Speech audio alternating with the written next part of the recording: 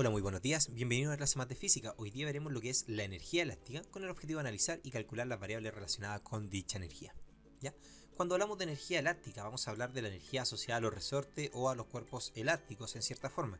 Un cuerpo elástico va a ser aquel cuerpo que tiene la capacidad de deformarse como aparece acá y volver a su estado original. Vamos a tener dos tipos de energía elástica. Una energía elástica que está asociada justamente a la compresión. Bueno, en el fondo el modelo matemático va a ser el mismo para los dos, ¿ya?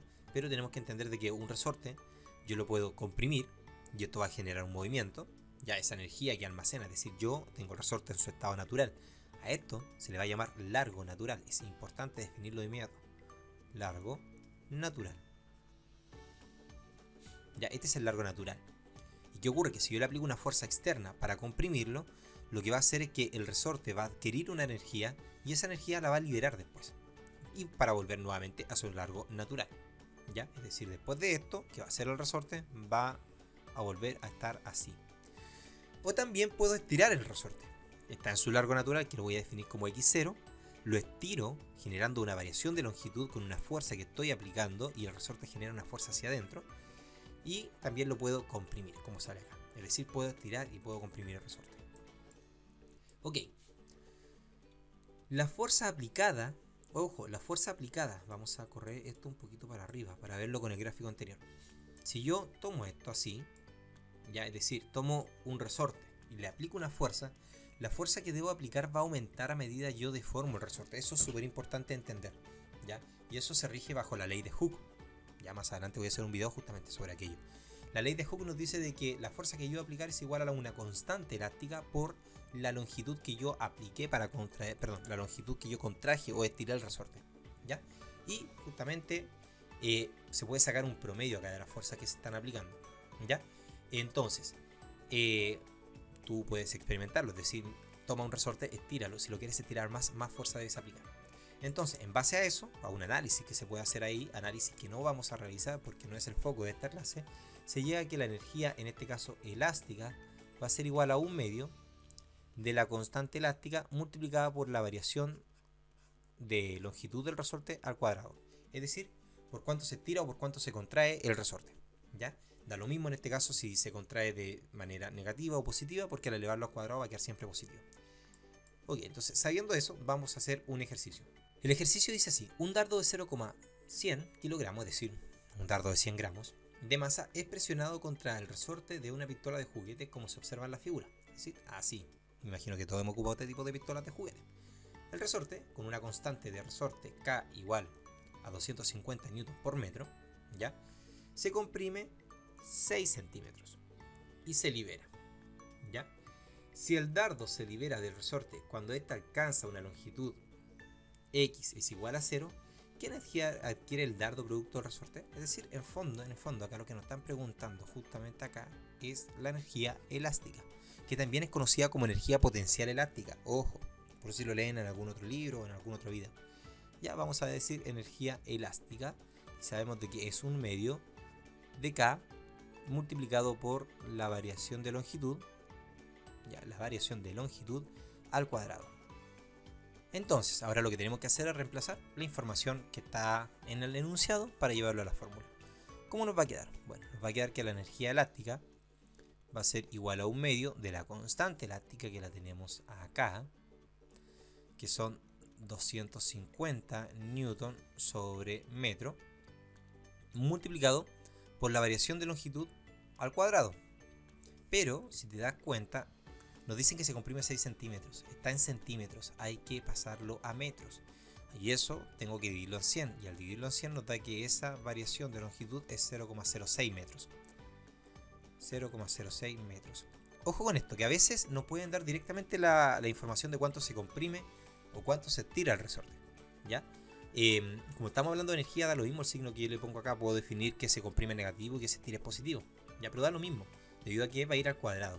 Al cuadrado no importa mucho el signo de aquello. El tema está en que tengo que fijarme siempre que esté en metros. Porque acá la constante está en metros. ¿Ya? Así que la energía elástica justamente va a ser el desarrollo de multiplicar eh, un medio por 250 y justamente un medio por 250 da 125. 125 newton sobre metros. Y lo que está acá, el 0,06, debemos elevarlo al cuadrado y eso da el resultado, voy a sacar el paréntesis, da el siguiente resultado, 3,6 por 10 elevado a la menos 3 metros cuadrados. ¿Qué ocurre? Que un metro se va a ir con el metro cuadrado que está acá y me va a quedar solamente un metro. Y esto, si yo lo multiplico el 3,6 por 10 elevado a 3 a menos 3, lo multiplico por el 125, voy a obtener como resultado 0,45 joules de energía. Y ahí estaría justamente la energía elástica que va a adquirir el dardo producto de la absorción eh, de la energía que se le hace al presionar, porque este dardo no se va a ir solo para adentro, sino que uno lo tiene que presionar. ¿Ya? Ok, el tema es el siguiente, que ahí tenemos la energía elástica. Pero ahora quiero, que le, quiero plantear la siguiente pregunta que dice, ¿qué rapidez adquiere el dardo? ¿Ya? Si te diste cuenta, el cálculo de la energía potencial elástica, en este caso, es simplemente una fórmula muy similar a la energía cinética, y básicamente es igual calcular la energía cinética, la potencial y la potencial elástica, en este caso, ¿ya? Pero cuando a mí me preguntan eh, sobre qué rapidez adquiere este dardo, debo relacionar dicha energía con otra variable que es la energía cinética. ¿Qué va a ocurrir?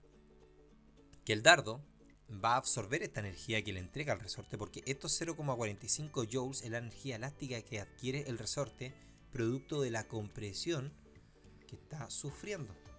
¿Ya? Y ese resorte le va a transferir, ya le va a pasar la energía al dardo y el dardo va a transformar esa energía en energía cinética. Por lo tanto, el dardo, voy a anotarlo acá, el dardo, el dardo va a tomar esa energía y la va a transformar en energía cinética. Y la energía cinética es un medio de la masa por la velocidad al cuadrado. ¿Cierto? Ok, entonces veamos lo siguiente. Si te das cuenta, nos dieron la masa del dardo acá arriba. 0,100 kilogramos, es decir, 0,1 kilogramos. Es decir, tengo voy a anotarlo acá, tengo esta masa, el un medio lo conozco, y la energía cinética la conozco, que va a ser la energía elástica, que se la va a transferir toda, el, resorte se la va a transferir al dardo, y el dardo la va a transformar en energía cinética. Por lo tanto, ¿qué es lo que voy a hacer ahora? Voy a reemplazar. La energía cinética va a ser 0,45 joules, va a ser igual a un medio de la masa, que es 0,1 kilogramo, multiplicado por la velocidad al cuadrado. Voy a hacerlo acá a la derecha. ¿ya? El 1 medio, el 2, fíjate bien, el 2 que está dividiendo acá va a pasar multiplicando. ¿Ya? O simplemente podríamos mejor que todo decir 1 medio por 0,1. Sí, mejor hagamos eso. 0,45 joules va a ser igual a 1 medio, ya 0,5 multiplicado por 0,1. Es decir, lo que tengo que decir es 0,1, eh, prácticamente lo voy a dividir en 2. Y eso da como resultado 0,05 kilogramos multiplicado por la velocidad al cuadrado. Esto va a pasar dividiendo para allá, es decir, me va a quedar 0,45 joules dividido en 0,05 kilogramos es igual a la velocidad al cuadrado. Ya es decir, ahora lo que tengo que dividir es 0,45, lo divido en 0,05, se lo hago en la calculadora y da como resultado 9. Y esto me queda metros sobre segundo y todo queda al cuadrado y esto es igual a la velocidad al cuadrado.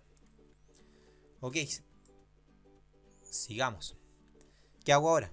Aplico raíz cuadrada y me queda la raíz cuadrada de 9 metros cuadrados segundo cuadrado es igual a la raíz cuadrada de esto que está acá.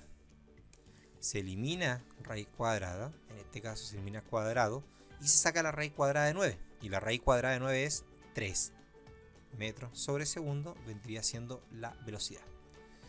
Ahora, fíjate bien. Yo aquí dije que joules dividido en kilogramos me dio metros partido en segundo cuadrado. Te lo quiero explicar brevemente en un paréntesis acá.